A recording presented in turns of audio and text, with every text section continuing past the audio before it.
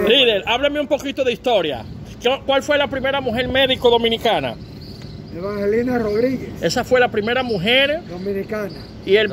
Y la primer enfermera de apellido Nightingale. Nighting. Gale se escribe Nightingale. Ah. Y el primer viajero dominicano, Juan Rodríguez, Juan Rodríguez, de Moca. de Moca. Wow. Hubo un presidente mexicano que su mamá era de La Vega, tú no sabías eso. Presidente mexicano que... su- Mexicano que su mamá era vegana. Oh. Y El nombre, recuerda el nombre. oh. no, no. Ok. y una nieta de José Núñez de Cáceres, cuando se fueron a Venezuela. Allá nació Pedro Cáceres. Ya. Y una nieta de José Núñez de Cáceres fue la esposa de José Vicente Gómez, el dictador. El dictador. Eso es historia, eso es historia. Ya. Esos son, Eh. esos son conocimientos que hay que conservarlos. Trujillo tuvo una buena discusión con el pájaro Rafi, el hijo de él, y le dijo, te di todo Al hijo de él, al hijo de él. a Rafi, te di todo, poder, militares, Dinero, de posesiones. todo. Y yo sé que cuando yo me muera, tú eres más bomboso que militar. Ah. Y fue verdad. Oh. Él nada más hizo una sola cosa, que los últimos cinco se lo entregaron a la Hacienda María. Se lo amarraron un mate coco en la playa y lo mató. Pero Vaca Rodríguez, que Vaca Rodríguez, espérate, Eso fue los tiempos de Trujillo.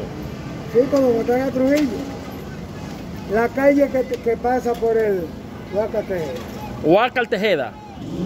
le dijo a Rafi cuando lo tenía amarrado, tú quieres saber, coño, que, lo que es un hombre, ven, suéltame. ¿Cómo? Deja pasar ese modelo. Sí, señor. Pero eso es historia, eso es historia. Mira, ¿Y qué, qué usted sabe? Bueno, ¿qué usted recuerda aquí de, de la vivencia de Trujillo aquí en San Cristóbal? Porque Trujillo era de aquí de San Cristóbal. Él nació aquí en San Cristóbal.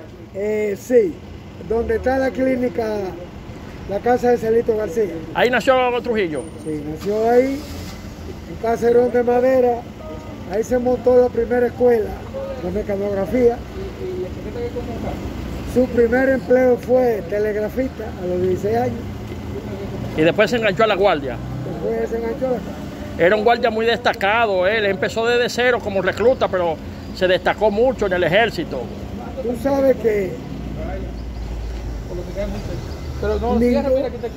ningún candidato que no tenga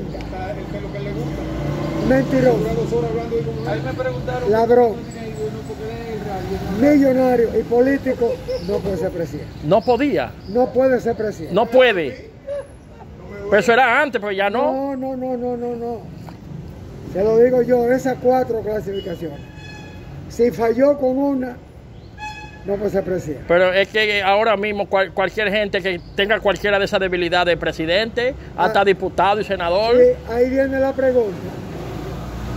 ¿Por qué todos estos pendejos se dejaron echar mierda toda la vida de Joaquín Balaguer? ¿Por qué? Que yo recuerdo cuando Balaguer dijo, ni ese Prieto, ni el Caco de Ovejo ese aquí gobiernan. eso es refiriéndose a Peña Gómez ya ni a Juan. y a Juan Bo. Wow, tremendo, ¿eh? Y se lo cumplió. Sí, sí, no lo dejó pasar ninguno de los dos. El PLD ganó después que murió Juan Bo y después que murió Balaguer. ah, bueno, ganó ya la- eh, los últimos años de Balaguer. Ahora, tu amigo dio dos partidos. ¿Cuál es? Juan Bo. Uno, que ellos mismos decían que al, al PRD nada más destruía al PRD. 82 años de, De fundado. fundado. Gobernaron 12 años y 7 meses. ¿Son perdedores o ganadores? Son per- yo diría que son Son perdedores. perdedores. Sí. El PRI, Con 80 años nada más gobernó 12 y se, destru- y se destruyó él mismo. el PRI gobernó 74 años en México corrido. 74 años corrido. Y corrido. Eso es ganador. Claro. Eso es así. ¿Y cuál es su nombre, líder? José Mato. José Mato, ¿usted es historiador? Bueno, sí y no. no, porque tener tanto conocimiento. Eh. José Mato de San Cristóbal. No, eso no. José Mato de Asua. Y óyete una cosa. Mejor orador latinoamericano, Peña Gómez. Político más malo que dio este país, Peña Gómez. Ay, no, Peña Gómez con todo esto fue el presidente de la Internacional Socialista. No, no, eh, eran todos ladrones. Ah, Cuando salían huyendo, venían a esconderse para acá. ya. José, José Mato de Asua. Sí, bueno, te- y- y un te- placer. Y te menciono los nombres de los que No, salieron. para, por para la otra entrevista. Muchas gracias, José Mato. Sí.